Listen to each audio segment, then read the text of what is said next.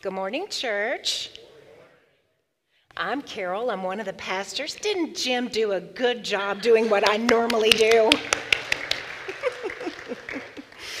I'm really excited to come to y'all today because I get to talk to you about Moses, the part of the story. I love Moses.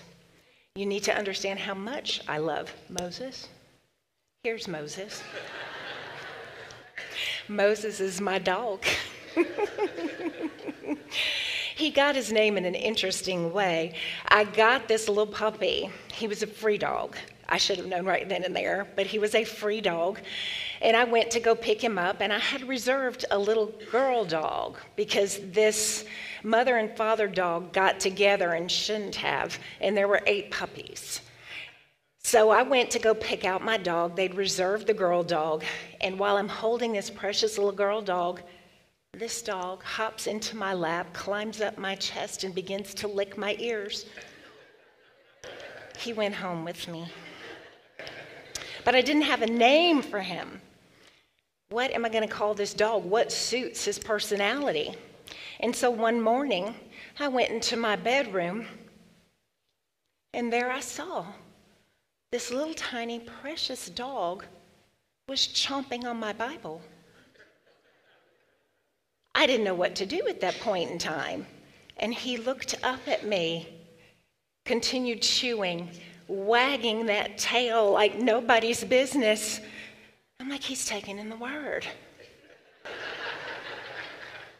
so he needs a biblical name Moses. So Moses is indeed a very big part of the story. And I love when we get to take the story of the Bible and try to put it together. We have started out over here, the whole story as we've been calling it. And we had creation. God created the earth, He created you and me. Then we had the fall, Act 2. Evil spread throughout the world because of some decisions that were made due to temptation. We had the flood. We had the flood, and we learned that do overs do not work. Sin had spread throughout the world. Mankind, this family that was supposed to be given to Abraham, came along. God said, I want a place for you to belong. Abraham, you are going to start this family. And we mess that up.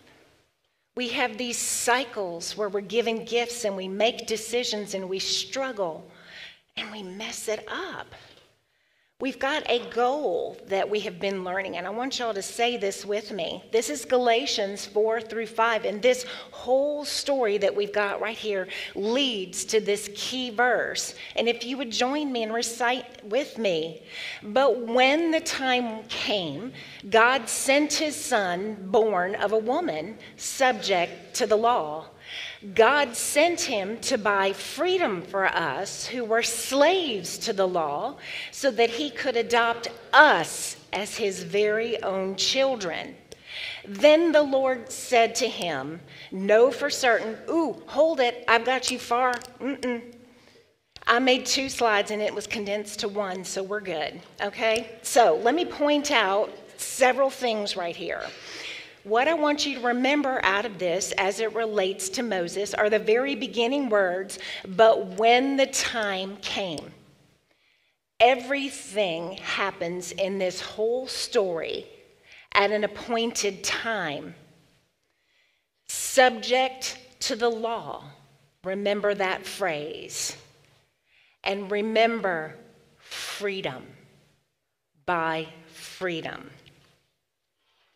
Many of you already know the story of Moses. I know that for a fact because I've taught it a couple times on Wednesday night, and my ladies know that story. Allison on Tuesday morning is talking about Moses in a more 50,000 degree mile view because she's pulling the whole Bible together in a study called Seamless. So I encourage you all watch for Bible studies. They happen when you need them and when you can dig deep or even an overview you are going to learn something every time because it's the living word. And I say that because even if you have studied Moses, or even if you've never heard of it before, this is a critical point in the history, the redemptive history of us. We are included. So let's take it back a little bit to last week. Jim had gotten us to the point of Abraham. We have a family that has been created. God said, You're going to have a family, and all the people on the earth are going to be blessed by this family. It was a promise.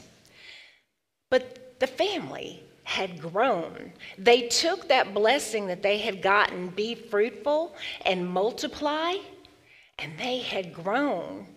So by Genesis 46, we've got 70 people. We've got effectively Joseph's family with Abraham. And they moved to a place of plenty. And they grew, and they grew, and they grew, and they grew. But we knew based on what Jim told us last week. Here's that Genesis 15 13. We knew about slavery. Then the Lord said to him, Know for certain, said to who? This is the Lord is talking to Abram at the time. Know for certain that for 400 years your descendants will be strangers in a country not their own, that's Egypt, and that they will be enslaved and mistreated there. And we know what God says is true. So, this family that's multiplying and multiplying is beginning to make Pharaoh over Egypt extremely nervous. There's too many of them.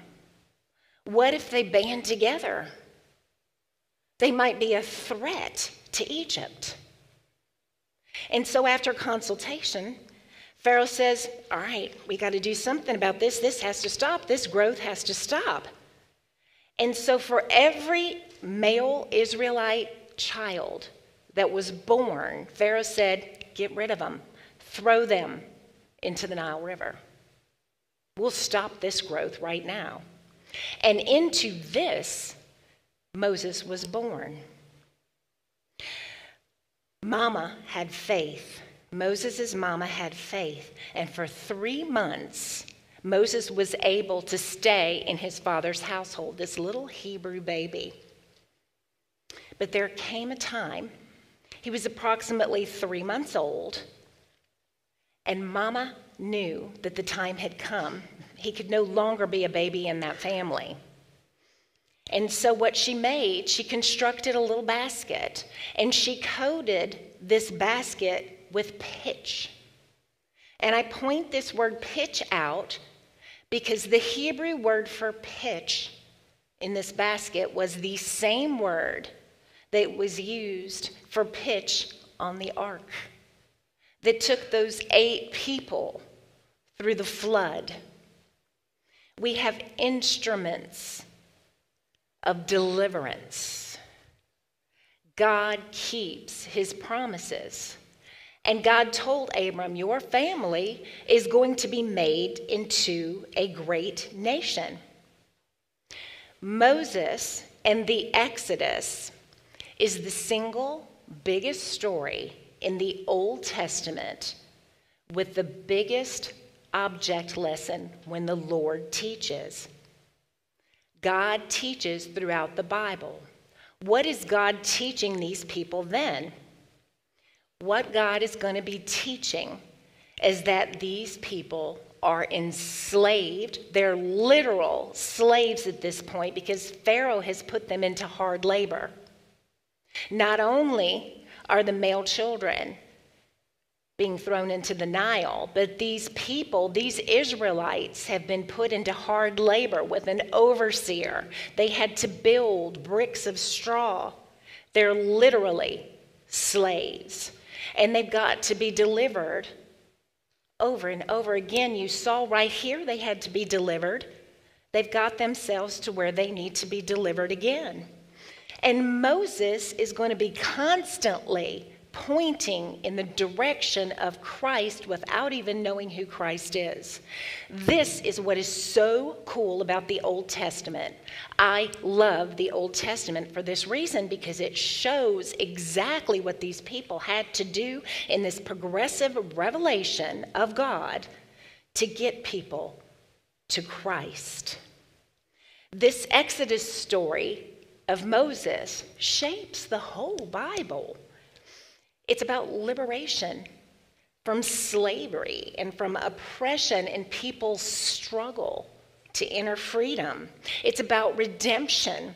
It's about death to sin. How is this done? Through Moses. Well, this baby had to be taught. This baby, this little Hebrew baby, is rescued by the Pharaoh's daughter.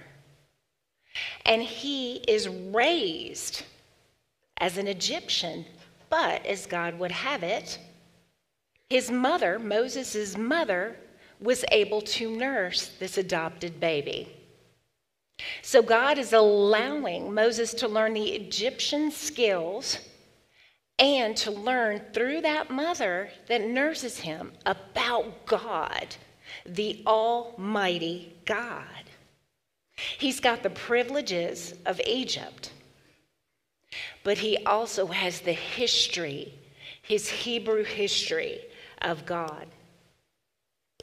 Now, the first seven chapters or so of Exodus give a very broad overview of the enslavement of Israel. Exodus, think about it.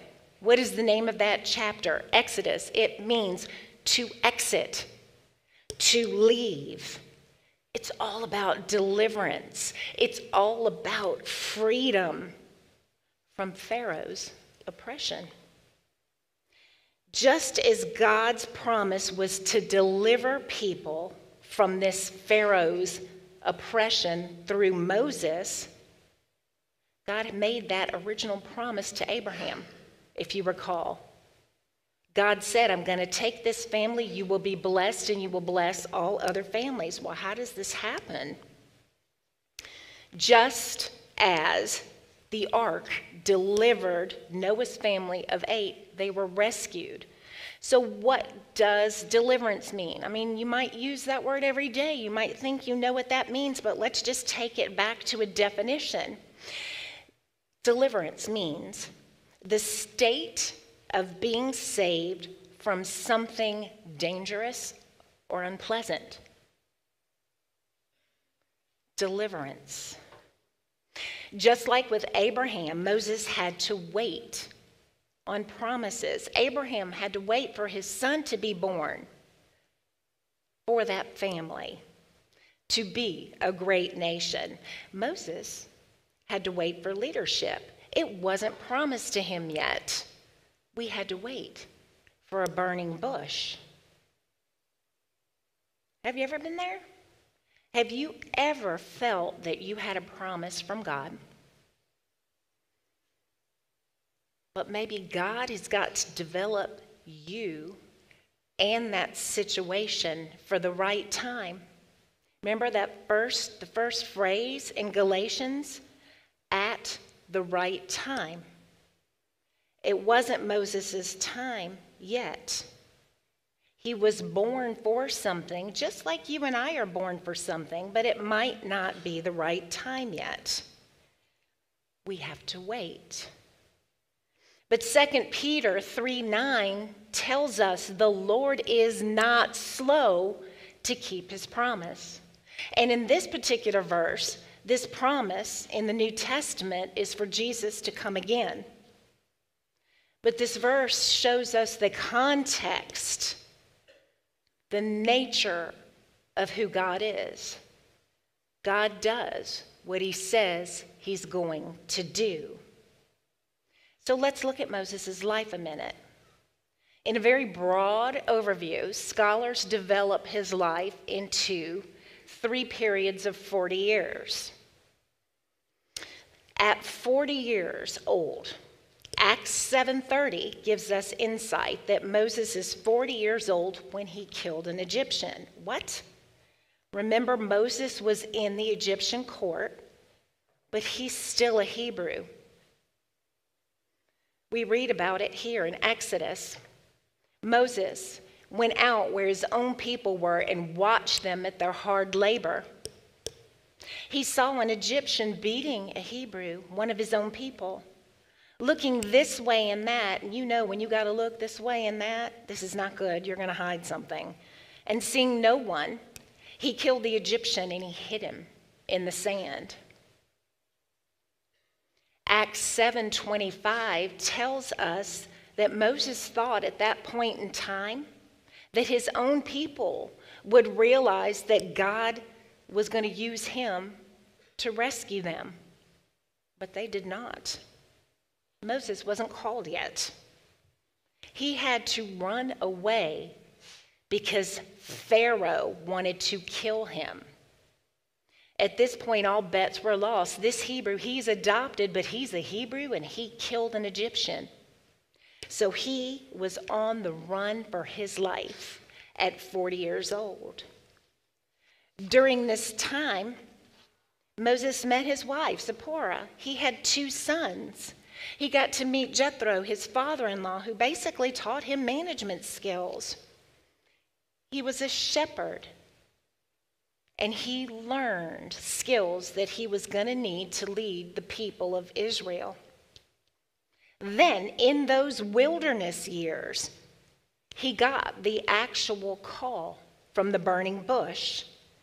In Exodus 3 4, we hear that God called him through that burning bush because God was ready now for an 80 year old Moses. He had spent 40 wilderness years learning basic skills.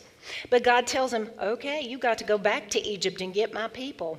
I've heard their calls. They are oppressed. All the people that wanted to kill you, Moses, are dead. Now go free my people from oppression. Do you know that the Exodus is mentioned over 120 times in the Old Testament?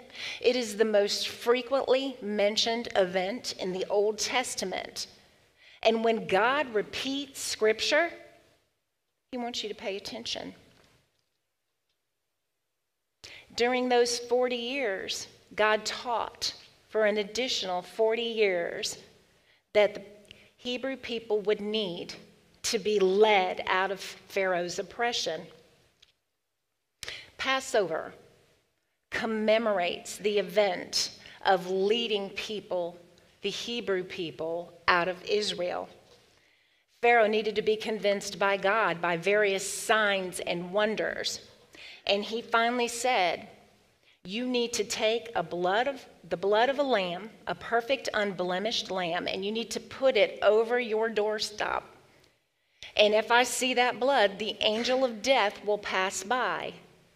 Because the Lord was going to send the angel of death to the oldest son, the oldest person of each household.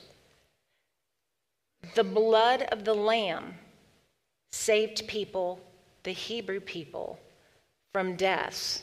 This would be a hugely symbolic event of what Jesus was going to do for all of humanity. God was teaching at that point. This symbolized how death was going to be conquered. The parting of the Red Sea was also a dramatic event of deliverance.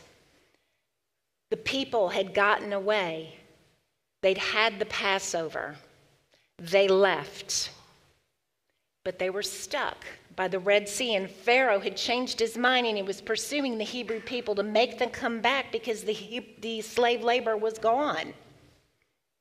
But God made a way. God used the miracle of splitting the Red Sea. He delivered them yet again. And sometimes what scholars do is they compare that Red Sea to the act of baptism. It's symbolizing a passage from the bondage the sinful nature, if you will, to freedom. Where was Moses leading them? To the promised land. Moses led the Israelites to the promised land, this place that was to be full of milk and honey, an Old Testament phrase for abundance. This can be seen as the foreshadowing of Jesus leading us to eternal life in the kingdom of God, free from physical bondage. Moses led the Israelites out of a physical bondage they were slaves in Egypt. God is a liberator. God cares about the struggles of his people day to day. And Jesus also brings us freedom from bondage. However, this generation that Moses was leading did not trust God. Remember, Jim was teaching us about the relationship between Abraham and God where you have to learn, just like in any relationship, to trust. And Moses had led his people to the very edge of crossing over to the promised land, but the people were scared and they refused to go. And so God said, Well, since you don't trust me, I sentence you to wandering that wilderness, a journey where the people could have gotten to the promised land, and what scholars estimate to be seven to ten days turned into 40 years. The Israelites got 40 years of wilderness, just like what Moses had.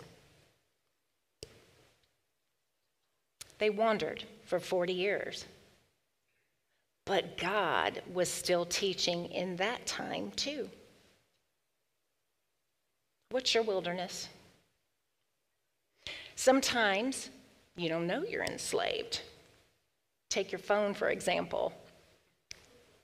How attached are you to your phone? My attention span has shortened. To sit there and watch a movie without picking up my phone and scrolling is a challenge sometimes. Or something like an addiction drinking. Oh, I can stop anytime I want to. There are times that you simply don't know that you're in bondage. Or you can be in bondage and you don't care. There's bondage that you're in, but you are comfortable with it. You can see freedom on the other side. You don't want to go there. You don't want to go back there to your Egypt.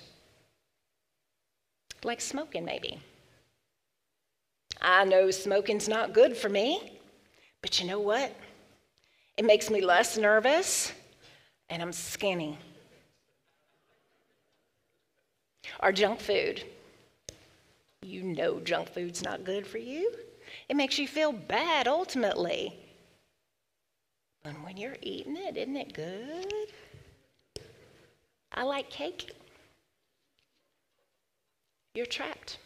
You're enslaved. You're in bondage. The Israelites were oppressed by the Egyptians. We are enslaved by sin. But if we have faith or trust in Jesus Christ, we have the power of God. We have to face our sin. We have to be obedient, even when it's scary sometimes. We have to trust because God has the power to deliver us from sin. But for the Israelites, they had to learn what sin was. So God had to teach the difference between right and wrong. These were an enslaved people. So, how are you supposed to act in God's kingdom? And God gave them his law as a standard. Moses received the law in Mount Sinai, and it provided guidance for the Israelites. And this should be a response to redemption. What does redemption mean? Redemption is a church word that means buy back. God redeemed the Israelites. God bought them back. God bought the slaves back. So the law is supposed to be a response to redemption. You bought me back, God. I love you so much. I want to do what you want me to do. It was never intended to be a burden. But it was intended for God's teaching to realize that there is an even fuller plan. Not only were the Israelites supposed to get God, But we were supposed to get God too. This was never intended to be exclusive, it was for all, a universal plan. So, there in the Old Testament was the ultimate realization of the universal plan, a plan that will only come to fruition with the coming of Christ. Deliverance and liberation. Moses played a pivotal role in leading the Israelites out of slavery from Egypt, symbolizing deliverance from bondage. Jesus is the ultimate deliverer. Moses was chosen by God to be a deliverer. But Jesus will be sent to free all of humanity from the bondage of sin, enslavement. Moses mediated the law, but Jesus brings grace. Because to get freedom, you can't earn it. You can't earn it through works. You can't earn it by being the best there is at keeping that law, because you know what? Nobody could keep that law. No one could keep that law but Jesus. And He freely gives freedom to those who believe in what He's done. So, the oral tradition of this deliverance story is passed down. You see it recited over and over and over again in the scriptures. God will deliver on his promises. We have to be willing to face our sin in one way or another. But we've ultimately been delivered from the consequences of that sin in the work of Jesus Christ. So all of Moses' actions point to Jesus Christ. God spoke to them. He spoke to them in Exodus at the giving of the law, and he said, I am the Lord your God who brought you out of Egypt, out of the land of slavery. Exodus is the single redemptive turning point in the people's history from Israel, and they strayed. By Deuteronomy 31 and 32, God is talking to Moses, and he's like, These people are going to fail.